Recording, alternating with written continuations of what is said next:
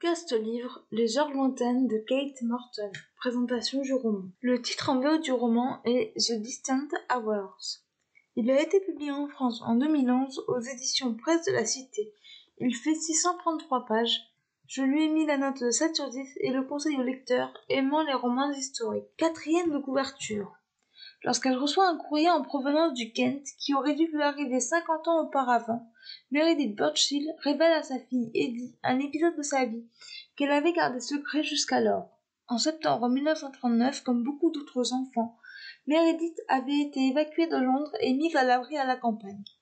Recueillie par des aristocrates du Kent dans le château de Midhurst, elle était devenue l'amie de l'excentrique et talentueuse Juniper, la cadette de la famille.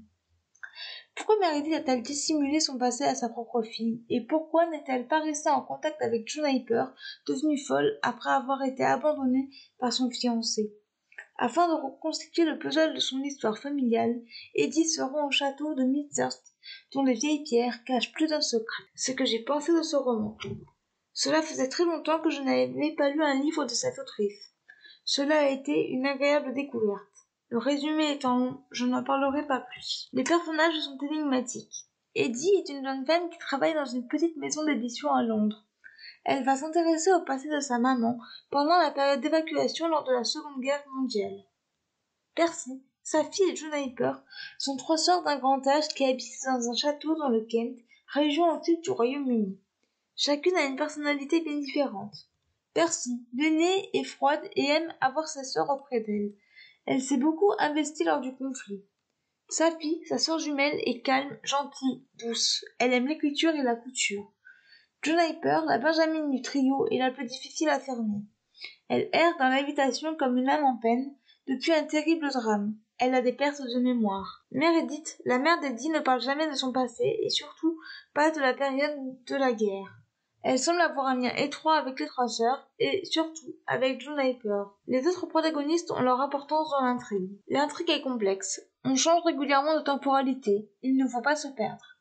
L'autrice aborde des thèmes douloureux comme les périodes de rationnement, la résistance, l'évacuation des enfants londoniens vers les campagnes du pays. Les chapitres peuvent être très longs.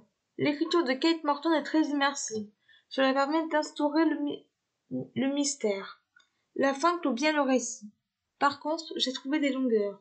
En bref, une assez bonne lecture. Extrait du livre. La plus jeune des filles s'appelle Juniper, ce qui veut dire guenièvre. Elle a 17 ans. Elle est très belle et a de grands yeux. C'est elle qui m'a emmenée au château. Vous saviez qu'on fait le jean avec des baies de guenièvre, justement? Les points forts de ce roman, les personnages, l'écriture, l'intrigue, les thèmes traités et la fin. Les points faibles de ce roman, les longueurs. Voilà, j'en ai tout pour ce podcast. J'espère qu'il vous aura plu. N'hésitez pas à me donner votre avis et vos commentaires sur YouTube, à vous abonner à la chaîne, et je vous retrouve très bientôt pour un nouveau podcast. Ciao